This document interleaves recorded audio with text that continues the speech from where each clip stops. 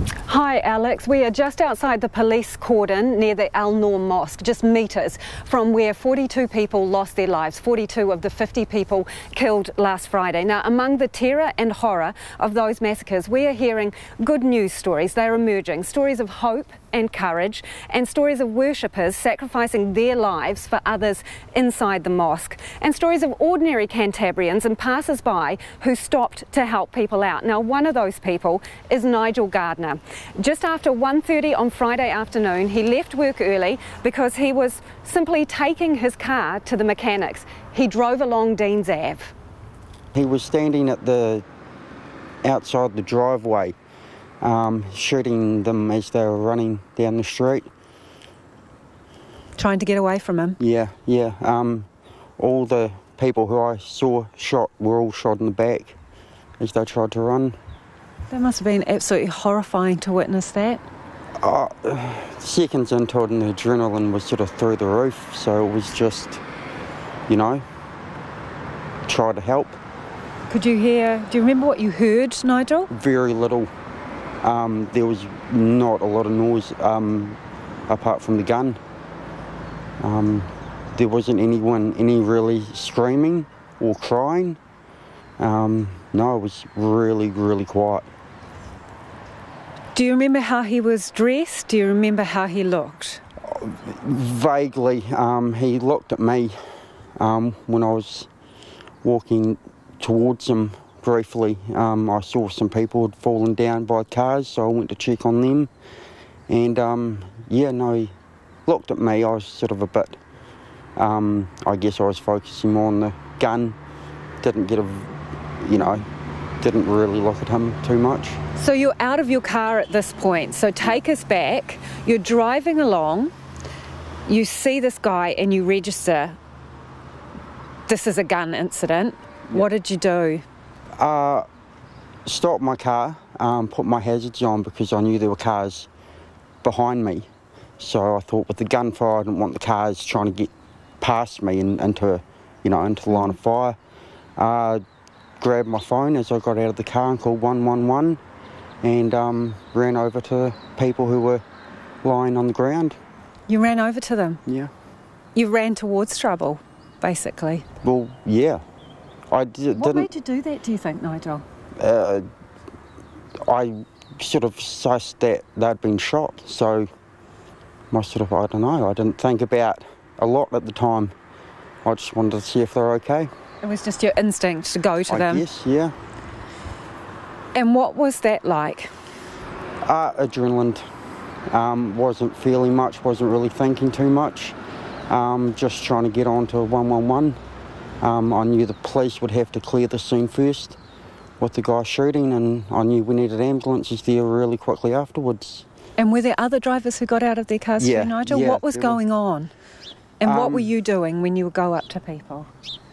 Uh, I checked on the lady in the car behind me because I didn't have anything on me to put pressure on any of the wounds. I was hoping someone in one of the cars behind me had something, and I uh, guy two cars behind me actually had a first aid kit. So um, he grabbed that and um, yeah, we went around with um, pressure bandages and just tried to stop the bleeding and yeah. Do you know how many people were injured? Uh, one, two, half a dozen, maybe more. And this was just on the footpath This out? is just on the footpath um, on the Moorhouse Ave side of the mosque. And so this is obviously before the police came. You rang 111 and other people did as well. Then what started to happen? Um, not a lot. I mean, for us there, um, not a lot. The gunman had stopped and we couldn't see him anymore. So it became more of um, sort of drag one guy from the footpath to behind the parked car just to get him, you know, in case he'd come back. You wanted some cover? Yeah, yeah. And um, yeah, we were just running around trying to. Um, one of the victims, one of the girls who was shot, was five years old. Um, she'd been shot in the back. Um, and there was another man who had been shot quite high up in the back. And we knew he was not doing well. He needed, you know, medical attention real fast. Um, so we just tried to hold on to them until till the ambulance could arrive. Any victim is a terrible thing, but to see a child, Nigel, that must have been incredibly was- tough. Yeah, I, poor girl, you know, five years old, and she never, like, never made a sound. Um, she sort of passed pain at that point, I think. Um, her dad was there too. He had been shot as well. Um, so his his priority, he was trying to get us to take her to, just her to hospital. He was asking you, take my child. Yeah, yeah. Um, and we couldn't because we didn't have a way, a safe way to transport at the time. God, this must have been so, it must be overwhelming. But now, do you think you're processing it? Have, I, I've been really lucky. I've got a lot of good friends and family who have been helping me um, for the fa- past few days. So I've managed to talk about it. Um, and yeah, no, the support from my friends and family have been awesome, which has helped a lot. so you were running around with other people. Did you, do you, do you know who any of these other people no, are? no, we didn't really have time to swap contact details. No, but that's the Um, remarkable thing, isn't it? You were yeah. all just in a line of vehicles and everybody Yeah, I mean, I think scrambling. and uh, saw similar things in the earthquake um, in 2011.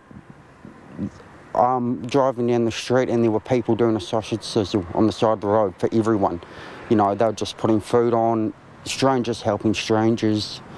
Um, and it was, yeah, the same sort of thing. You know, it's, I guess if you want to look at the positives from tragedies like this, is Christchurch has proven again that in times of crisis we come together um, you know, saw Mongrel Mob members and Black Power members hugging, and you know, everyone's put their stuff aside, and we've come together as a city.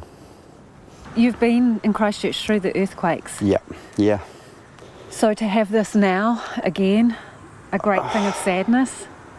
yeah. We've been copying it in Christchurch, I guess. Um, I think, you know, we hear about these things happening in other places in the world, um, especially something like this, which you'd think would never happen in New Zealand. And for it to happen in Christchurch is maddening, a disappointing. Um, you know, this happens in other places, it doesn't happen here. Nigel, I- first met you a couple of days ago and it Yeah. was outside the memorial at the Yeah. Deans Avenue Mosque. So you've been back, haven't yeah, you? Yeah, yeah. And what made you go back? It's support. I think. Um, I think the same. Like I was there for an hour or so, and the amount of people who, you know, who walked through and you know put flowers down and showed their love and support to our community um, was amazing. It was just nice to be part of it. And I heard you there, you were talking to other people who were also really personally affected, who had injured family members and, and the like. Yeah. Did it help to talk to people who had experienced maybe some of what you had on the Friday? Um, yeah, I think everyone who was there, and even in the wider community, I think we were all affected by this in one way or one way or another.